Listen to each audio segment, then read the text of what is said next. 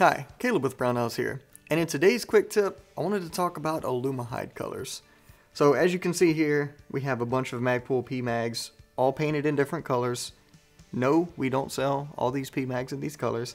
Um, what I did, I took every color of Aluma-Hyde paint we had, and then I sprayed uh, PMAG with each color, with the exception of clear. I don't, I don't have clear here.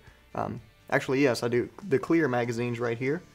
It's just clear. So I'm joking. All right. Anyways, let's let's move forward here.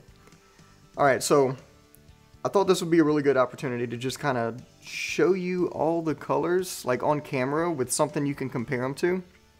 The reason being is because when you look at these colors on a screen, uh, just like by itself, you can look at it on four different screens and it's going to look like four different colors because unless those all those monitors or screens or whatever are tuned, uh, exactly the same, all those colors are going to look different. So without something to compare to, it's kind of pointless to look at it on screen.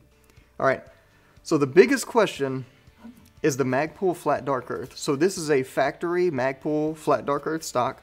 Uh, so this is like the dyed plastic. This isn't painted. And the closest Aluma-Hyde color to this is probably going to be, I want to, so there, we used to have, so let me, let me just back up just a little bit. We used to have a color called Magpul Flat Dark Earth, you know, back in the day. It didn't really look that close to the Magpul Flat Dark Earth, um, which is extremely unfortunate because of the name, right? So now we have, let's see, yeah, this one here, uh, the new color is called Magpul Tan, and that's pretty dang close to Magpul Flat Dark Earth, right? Alright, so if you're looking for it, uh, buy the Magpul Tan today, and that's going to match pretty close to your Magpul stock. Now, I'm going to go ahead and say it. None of these colors are going to match your furniture that's dyed plastic 100%. It's not possible because one's dyed plastic and one's a spray-on paint, right? I always say this, if you want everything to match, you have to paint everything. That's just, there's no way around it. Um, even when it comes to like other coatings like Gun-Kote or Cerakote, if you want everything to match 100%, you got to paint all of it because the even the sheen, which is the, the shininess, is going to be a bit different, right? All right, so this one right here uh, has a little bit more of a shine to it. Uh, this is the earth brown, and I'll just kind of set these. So this is earth brown right here. I'm setting down. All right. This is the Magpul tan. And then on the other side of Earth Brown, I'm going to put Coyote. So you can kind of see how those colors kind of look with each other. And then I'll even go ahead and throw down the Magpul Flat Dark Earth stock so you can see there. Um, and yeah, so you can kind of see how those colors all contrast together. Alright, let me set these down in a random order so I forget where they go. And kind of looking at blacks as well. So this, this right here is matte black. And it looks pretty dang close to just like the standard PMAG, but it, it just has that painted sheen to it, if you will. Uh, and then, of course, you have gloss black, or semi-gloss black, excuse me. And obviously that's going to be the same color, just a, a bit glossier. All right, and this one here is going to be the Desert Tan. And just to kind of get an idea of how that looks, that's it against a piece of Magpul Flat Dark Earth furniture there. All right, and let's talk about, let's talk about, um, you know what, let's jump over to the greens. So this is a, this is the OD green.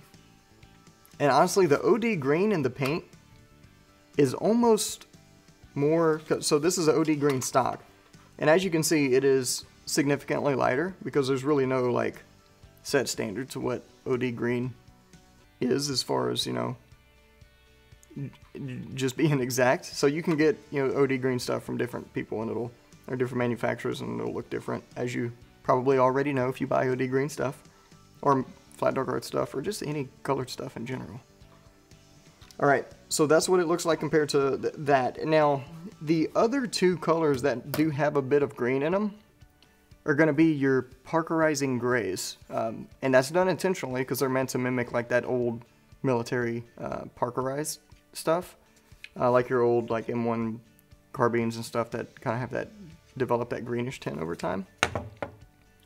Uh, so this is the dark parkerizing gray compared to the standard parkerizing gray. So parkerizing gray is on top, dark parkerizing gray is on bottom. And as you can see, the parkerizing gray does have a bit more green to it. Uh, the dark parkerizing gray has a bit more actual gray to it. And just for comparison here, this is the Magpul gray, um, which is actually a little bit darker than what would be considered like a sniper gray Cerakote, if you will. And then talking about wolf gray, which is the best color, uh, that's going to be here on bottom. So wolf gray, dark parkerizing gray, up to parkerizing gray at the top. And those are the main gray colors. And someone's going to ask, you know, how does that kind of compare to a sniper gray? Uh, sniper gray being a Cerakote color, not an Aluma-Hyde color. I have this Aero chassis here, this Aero Precision Solus chassis that is Cerakoted with uh, Sniper Gray. And this is your dark parkerizing gray and parkerizing gray sitting on top of a sniper gray. Which, you know, you can kind of see there. And then, of course, comparing wolf gray to that. Wolf gray is just a lighter version of sniper gray, essentially. Alright. So, let's talk about this other color here that I didn't cover. Uh, this is the stainless steel stainless steel gray, which is basically just an even lighter version of the wolf gray. Uh, this one kind of threw me for a loop because I've never really used it much before. Uh, but when you spray it, it goes on super glossy, like you, you think it's going to be like crazy shiny. But it actually dries pretty matte. It's like a matte bead blasted stainless steel is what it, what it comes out looking like. Uh, which is pretty cool. So this is the stainless steel gray underneath the wolf gray. So you can kind of see there. So if you're going to be mi mixing and matching colors and you know doing different camo patterns, um, this is a pretty good place to, to kind of start and see what your colors are actually going to look like. And I know someone's going to be complaining, you know, they, they should make it to where it matches 100%. Um, that's just not possible. Even, so for example, this Magpul stock, Magpul Flat Dark Earth, Magpul Grip, this is an 8K grip, but uh, this is also Magpul Flat Dark Earth. And as you can see, they actually do not match each other because they weren't manufactured at the same time in the same batch of plastic and dye or whatever. Uh, and that's why no paint color is ever going to match it 100% because they don't even match each other 100%. Uh, that's why we make the joke, you know, 50 shades of flat dark earth. But that applies to pretty much every color. So uh, hopefully that gives you a pretty good idea of these colors compared to each other. As I mentioned before, this is every color of Aluma-Hyde we currently carry at the time of this video. Uh, but I will note, I know I said Magpul Tan here, but if you have a can that says Magpul Flat Dark Earth or just Flat Dark Earth, uh, that's all the same colors. We're going through a bit of a transition period with our colors. Uh, so just know that, you know, whichever one of those you have, that's all technically the same color.